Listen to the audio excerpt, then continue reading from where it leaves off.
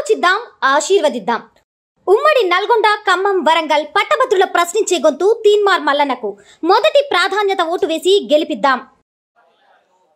మనం సూర్యాపేట జిల్లా హుజూర్నగర్ కేంద్రంలో ఉన్నాము. కొంతమంది మనకు గ్రాడ్యుయేట్స్ కావచ్చు వీళ్ళ మాటలో తెలుసుకుందాము. అసలు వీళ్ళు హ్యాపీ అడిగే ప్రయత్నం చేద్దాము. ఒక్క నిమిషం. అన్న నమస్తే అన్న. మీరు గ్రాడ్యుయేట్స్ అన్న? మీకు ఓటు ఉందన్న? మరి ఈసారి ఎమ్మెల్సీ ఎన్నికలు జరుగుతున్నాయి కదా. మరి ఎమ్మెల్సీ ఎన్నికల్లో ఓటు ఎవరికి వేద్దాం అనుకుంటున్నా ఓటు మనం మంచిగా మనం ప్రశ్నించే వాళ్ళు విమర్శించగలిగే నాయకుడిని చూసి మంచి వాళ్ళని తిరుమల మల్లన్న అయితే మంచి మనకి చేయగలుగుతాడు మాట్లాడగలుగుతాడు. సమస్యలు ఉన్నా చేయగలుగుతాడు. అందు ఎందుకంటే అతను టీవీ న్యూస్లో పనిచేసిండు.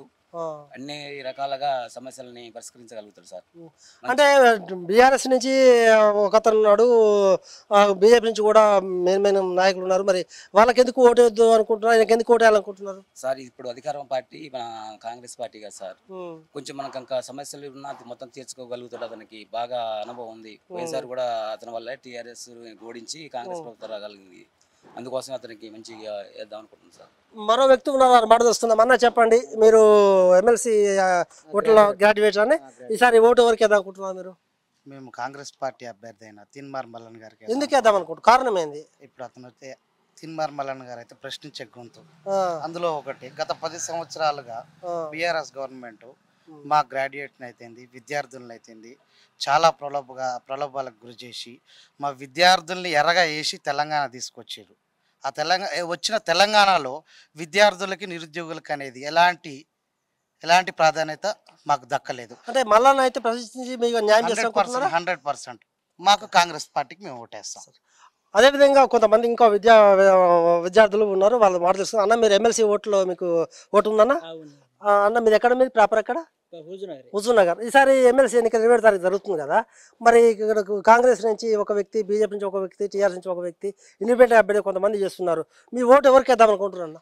ఇప్పుడు ఉన్నటువంటి అధికార పార్టీ తరపున కానీ ప్రశ్నించే గొంతుక తరపున కానీ వాళ్ళకి ప్రయారిటీ ఇద్దాం అనుకుంటున్నాం. ఎందుకు? ప్రశ్నించే గొంతుక మల్లనకి ఎందుకు వేద్దాం అనుకుంటున్నారు? కారణం ఏంది? గత ప్రభుత్వంలో ఎమ్మెల్సీ అభ్యర్థిగా ఉండి గెలిచి కూడా ఇట్లా గ్రూప్ వన్లు కానీ ఇట్లా గ్రూప్ ఫోర్ కానీ ఇంకా ఇతర ఇతర రకంగా పేపర్ లీకేజ్ అయినా కూడా స్ప- స్పందించని ప్రభుత్వం.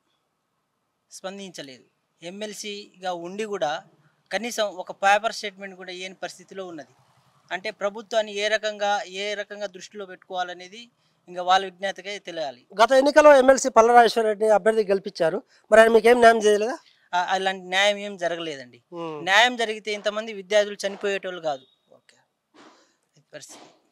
మనం ఇప్పుడు చూస్తున్నాము హుజూర్ నగర్ కేంద్రంలో మాత్రం ఎవరు చూసినా కూడా ప్రశ్నించే గొంతుగా తీన్మార్ మల్లన్నకి ఓటేసి గెలిపిస్తామంటున్నారు. ఎందుకు అంటే అంతమంది ఉన్నటువంటి పల్లరాజేశ్వర రెడ్డి కావచ్చు లేకపోతే టీఆర్ఎస్ ప్రభుత్వం కావచ్చు ఏ ఒక్కరు కూడా పది సంవత్సరాల నుంచి న్యాయం జరగలేదు ఒక్క ఉద్యోగం కూడా జరగలేదు. ఉద్యోగాలు మాత్రం ఇస్తే పోస్టింగ్లు ఇస్తే మాత్రం వందలాది మంది ప్రాణాలు పోయేవారు కాదు. అందువల్ల ఖచ్చితంగా ఈసారి అధికారంలో ఉన్నటువంటి కాంగ్రెస్ పార్టీ దాంతో పాటు తీ- గొంతుగా తీన్మార్ మల్లన్నకు ఓటేసి మాత్రం భారీ మేయర్తో గెలిపిస్తామని వాళ్ళు శబ్దం చేస్తున్నారు. ఆలోచిద్దాం ఆశీర్వదిద్దాం. ఉమ్మడి నల్గొండ ఖమ్మం వరంగల్ పట్టభద్రుల ప్రశ్నించే గొంతు తీన్మార్ మల్లన్నకు. మొదటి ప్రాధాన్యత ఓటు వేసి గెలిపిద్దాం.